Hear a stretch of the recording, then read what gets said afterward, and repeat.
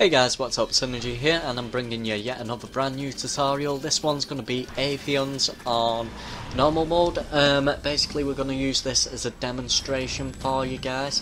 So, what have we got to talk through? Well, since the new patch update, what they've done is they've put random teleports, so you can't just simply move to the back and have your standard free teleport like you usually would do. So there's a different way of doing this one guys and I'm just going to talk you through it. So your relic holders say A, B, C and D. What you're going to do is you're going to assign them numbers, so 1, 2, 3, 4. Now when you get teleported, what you want to do is you want to call out your number if you are a relic holder and basically what happens then is the lowest number that has been teleported is going to be holding the relic. The other two will be working on the oracles. It's as simple as that, it's effective, it worked and it's after the patch. This is a Destiny first and it was actually thought up by a guy called Relentless who is one of Dark Mass's crew. And yeah guys, so this is just a tutorial for all those who are going to end up struggling with this specific one. We actually did it first time that allowed me to post this as soon as possible for you.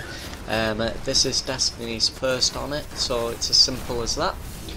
And all we're going to do is we're going to keep damaging this boss just as normal and um, as you're going to see on here, you're going to see three different people getting teleported. As you can see, uh, Relentless Shine directly in front of me with the relic at the moment. I believe I end up getting teleported very shortly. Here we go. Yeah, so it's me teleported. I'm the lowest number. So what I'm doing is I've got the relic and I'm going to ground slam down. Unfortunately, I missed the Minotaur. So I'm just going to finish him off here and he's just regen his health as well. Don't worry about it, just do your job and cleanse. Okay, moving down. I'm just gonna let these guys take out the oracles because that's gonna be their job while they've been teleported. And this time I'm actually going to be on the relic again. Just gonna throw a quick cleanse down before we go out. Jump in the middle.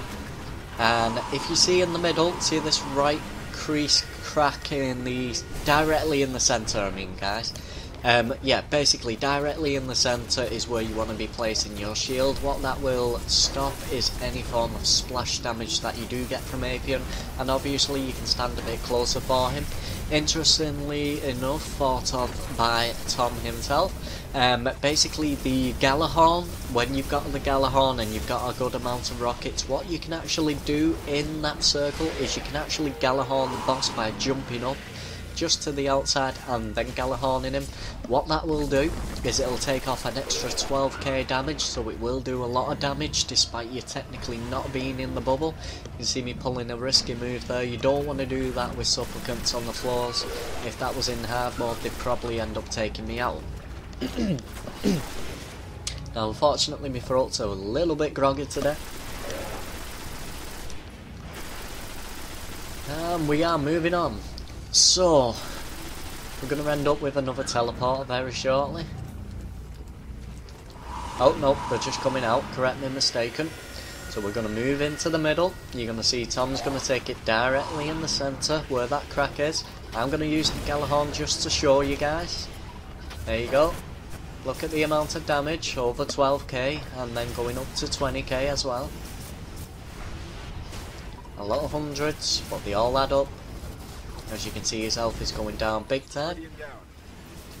Still got two rockets left, but I'm taking splash damage. Now because I have took a bit of splash damage on that one. We might not have the relic in quite the right place, so I've just decided to move prematurely.